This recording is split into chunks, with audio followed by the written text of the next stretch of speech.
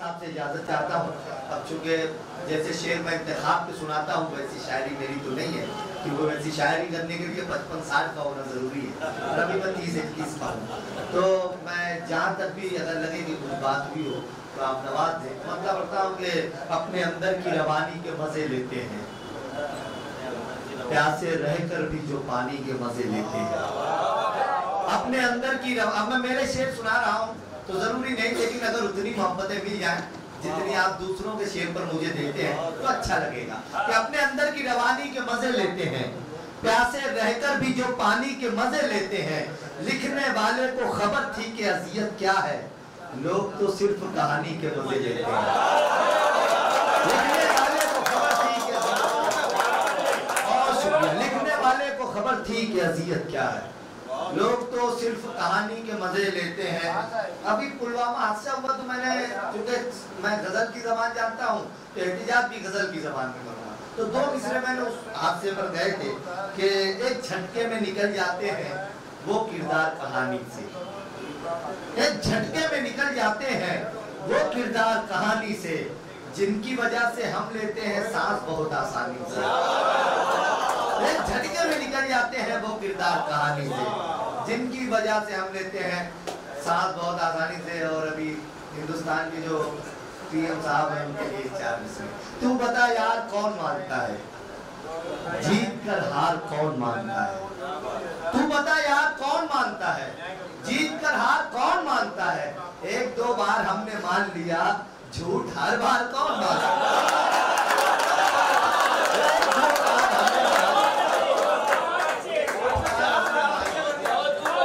एक दो बार हमने मान लिया झूठ हर बार कौन मानता है एक दो बार हमने मान लिया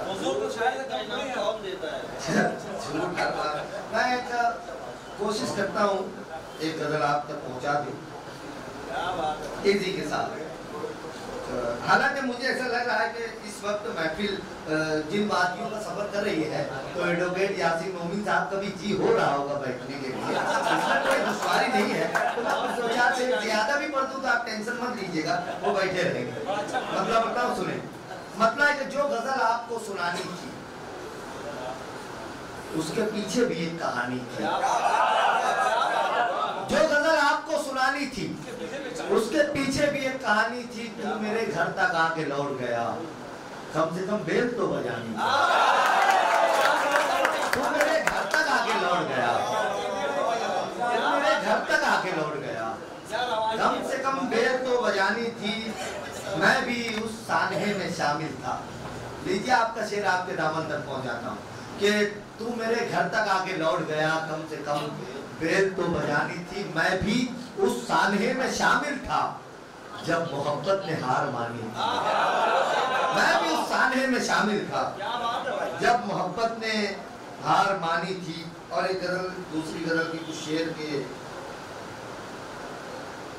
मतलब है।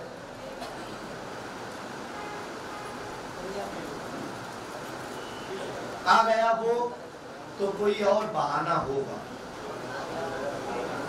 दिल तो कहता है कि शहर से जाना होगा। अब एक शेर आप तक पहुँचता आ गया वो तो कोई और बहाना होगा। दिल तो कहता है कि शहर से जाना होगा। बस मेरे बच्चों के होठों पे हँसी आने तक। ज़िंदगी तुझको मेरा साथ निभाना होगा। बस मेरे बच्चों के होठों पे हँसी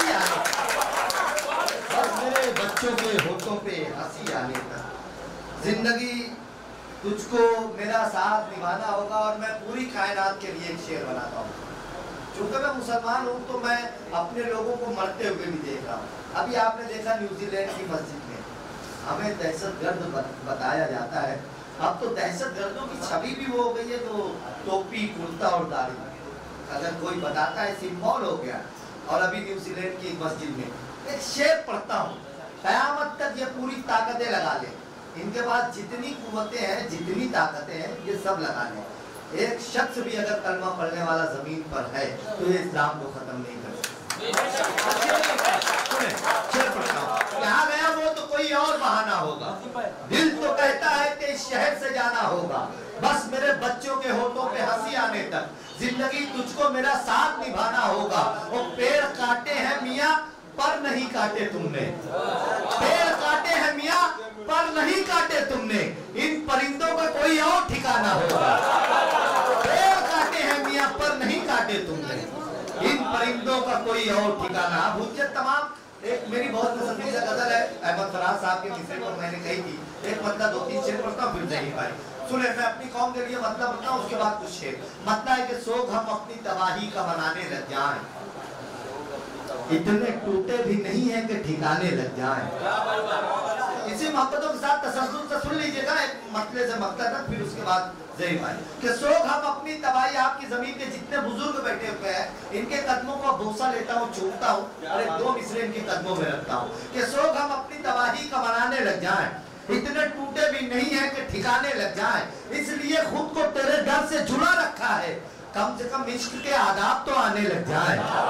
इसलिए खुद को तेरे डर से जुड़ा रखा है।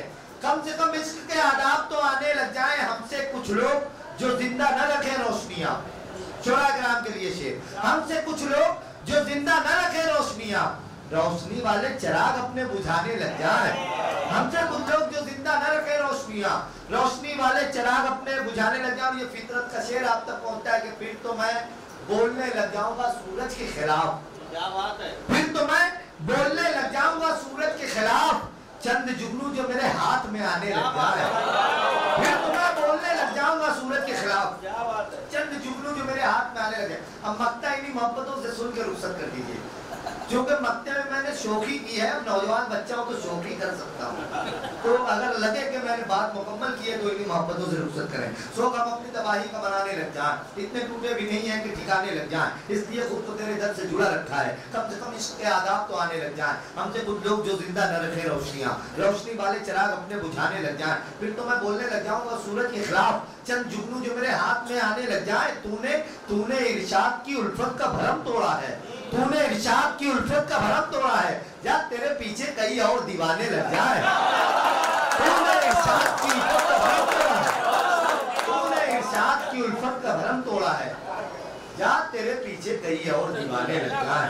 देखिए, इस तरह से भी बदुआ दी जा सकती है। आप अपने बहुत बहुत शुक्रिया आपकी मोहब्बतों का बादिल अंसारी साहब की सदारत की बरकतें हैं कि आज की महफिल पूरी तरह से आपकी आप पूरी कामयाबी के साथ अपने आखिरी मंजिल तक आ चुकी